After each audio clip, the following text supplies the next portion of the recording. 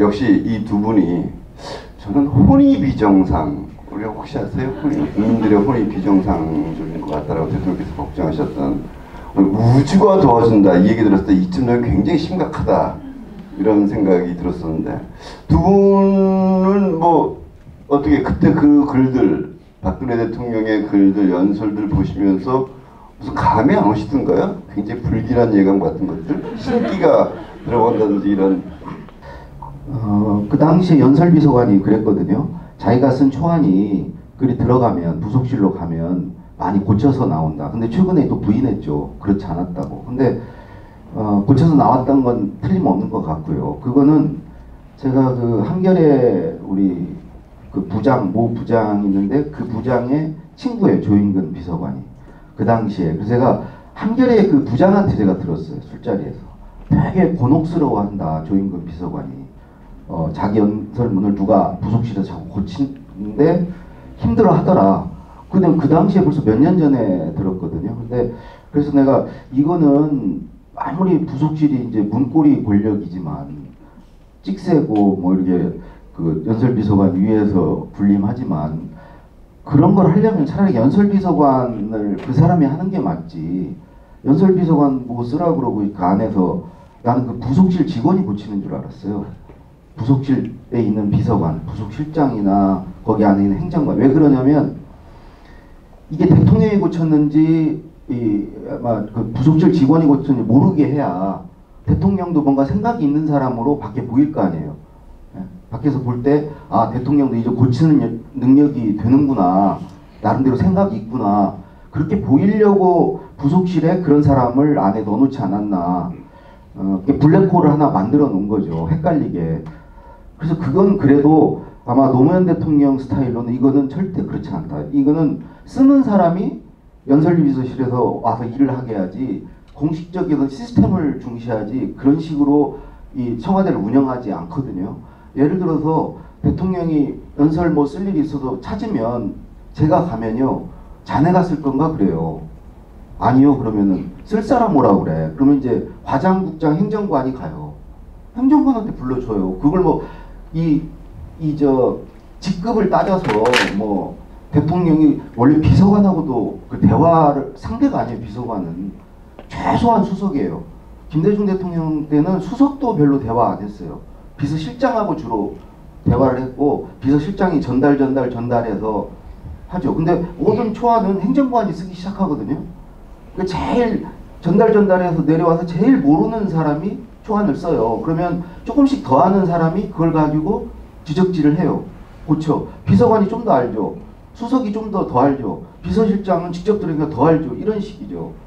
그 사이에 이제 우리 윤 실장님도 그 있었던 거고요. 지적질을 하고 있는데 위에. 그래서 그런 게 이제 옥상옥이고 이런 거죠. 대통령이 직접 해주면 들은 사람이 쓰고 쓴 사람이 대통령께 보고하고 그러면 얼마나 좋아요. 이 머리와 손발이 그냥 한 일심동체가 되잖아요. 근데 이게 몇 단계를 거치면서 어, 그런 거 같고 제가 이제 한 말씀만 드리자면 이번 사태를 보면서 제 블로그에 있었는데 한 세 가지 이, 이런 불행한 사태 속에서도 한 세 가지는 얻을 점이 있다. 첫 번째는 어, 우리 국민들의 그 글쓰기 또 말하기 수준이 이번 사태를 계기로 올라갈 거다. 왜 그러냐면 그동안 우리 소위 사회 지도층이라는 사람들이 국회의원들 뭐 이런 분들이 되게 보좌관이 그냥 쓰고 이런 걸별 어, 문제 문제로 생각하지 않았어요. 어, 의뢰 그냥 그러는 걸로 알았어요. 근데 이번에 보니까 자기 생각을 자기가 못 쓰면 이게 좀 문제가 있구나라는 것을 봤거든요. 근데 아마 박근혜 대통령 지금도 모르고 있을 거예요. 자기 생각을 자기가 글로 못 쓰는 게 뭐가 문제인지를 모르니까 이제 그런 걸 했겠죠. 그래서 이제 사람들이 자기 생각을 자기가 글로 써야 되는구나 알았기 때문에 그러면은 글을 쓰기 위해서는 또 생각을 해야 되고 그래서 어떤 생각의 수준이나 글쓰기 말하기 수준이 훨씬 높아질 거다. 두 번째는 그 우리 국민의 상상력이 한 단계 올라갈 거예요. 왜냐면 도저히 상상할 수 없는 일이 일어났고 있을 수 없는 일이 벌어졌거든요. 이걸 보면서 뭐든지 일어날 수 있다고 국민들이 이제 생각하게 됐어요. 그래서 뭔가 일이 어떤 뭐가 벌어지면 그 뒤에 뭐가 있는지를 이제 상상하게 될 거예요. 그래서 앞으로 이제 대통령이건 뭐건 해먹기 정말 힘들 거예요.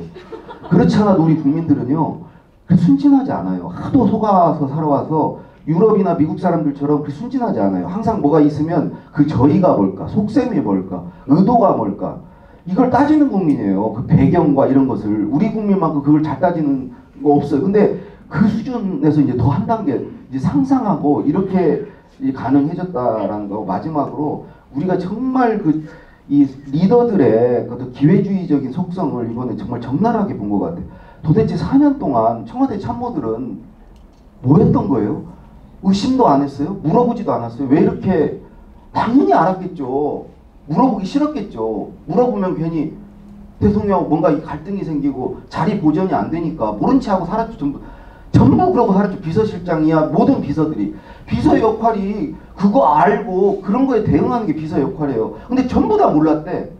그런 일을 전혀 몰랐대요. 그럼 뭐 하고 있었던 거예요? 뭘 알았던 거예요? 4년 동안? 그래서 뭐 월급을 그 많은 월급을 세금에서 받아가면서 도대체 뭘 했다는 거예요? 예. 예. 갑자기 그 비판을 원래 그거 오늘 저이 모든 토크쇼는 정치적 중립을 준수하고 있습니다. 윤재열 실장 비서관님은 그때 어땠습니까? 그 최순실 씨 연설문을 보셨 좀 보셨죠 그래도 저는 뭐 모르겠어요. 강 비서관님 박 대통령 뉴스를 안 보니 뭐라고 저는 뉴스 자체를 안 보고 살기 때문에 이번 파동이 나서야 아, 그런 게 연설문에 들어갔다는 거를 알았습니다. 제가 어떤 얘기를 해도 강 비서관님을 능가하는 발언을 할 수 없기 때문에 요거에 마- 맞춰서 이하 동문. 제가 더 말을 하면 그게 다 옥상 옥이니까.